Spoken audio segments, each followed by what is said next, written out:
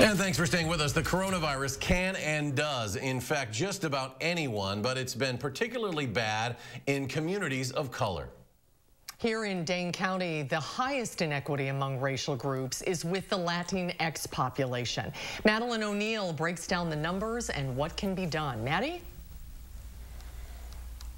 Latinx people make up about 6% of the population here in Dane County, but account for nearly 16% of the total number of COVID-19 cases we've had here. And in the past several weeks, that gap has only become more apparent.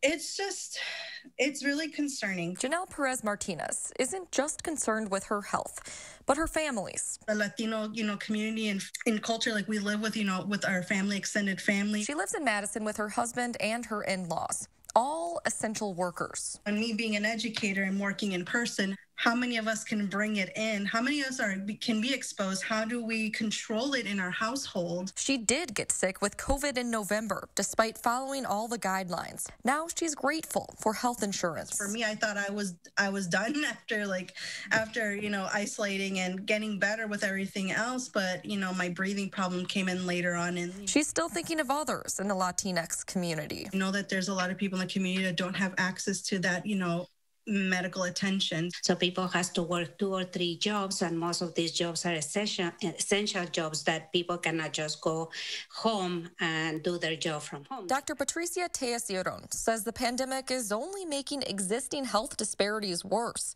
highlighted by the latest data from public health officials. I'm really hoping that this brings light to the issues in minority communities, in this case in the Latinx, and that uh, the community at large starts uh, looking into providing more resources for us. While Martinez has been able to isolate from her in laws, her husband now has COVID. He only has a loss of taste and smell. To protect her family and your own, she shares this message. You can't be selfish in this in these kinds of situations because it does affect the community as a whole.